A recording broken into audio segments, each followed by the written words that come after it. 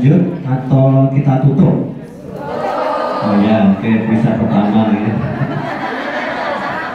Nah kita doa dulu ya. Kita kuisnya begitu aja ya. Karena kegiatan kita dulu mah banyak gitu. ya.